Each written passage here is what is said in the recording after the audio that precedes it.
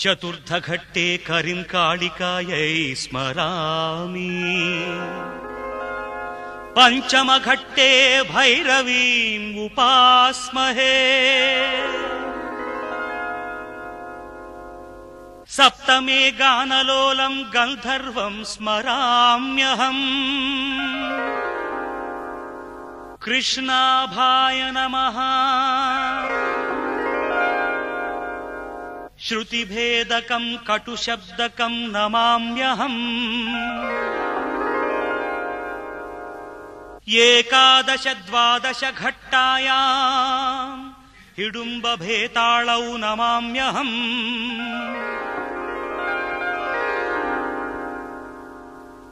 अशरीराम् वार्ताहारिणी कर्णपिशाचीम् स्मराम्यहम्